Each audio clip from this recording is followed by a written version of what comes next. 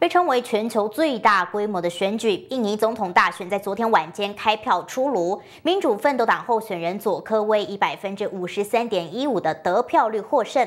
佐科威出身平民阶层，与印尼的精英阶级保持距离，有媒体还称他是印尼奥巴马。究竟佐科威在民间的形象如何？我们连线到正在印尼的记者 Caroline 带来说明。Caroline，好的，主播。印尼新总统佐科威，印尼话叫做 Jokowi，出生在索罗一个穷困木匠家庭，从零五年当了两届索罗市长。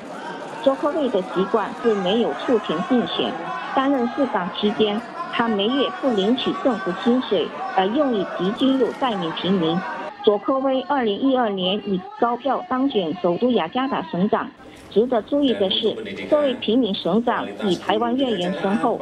他在从政之前，经营家具公司和台湾、南韩和日本有生意往来，经常前往台湾处理业务，也牵线红海集团进军印尼。而佐科威的对手普拉博沃，印尼话叫做普拉博沃，是印尼政治军事人物，出生于印尼最富有家族之一，独裁者苏哈多前女婿。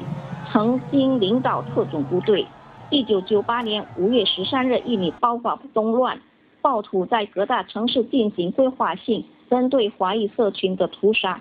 普拉博沃被指在幕后指挥，这也成为落选的原因之一。那么，以上就是印尼前线对总统大选的观察。后续消息我们将为您掌握。主播。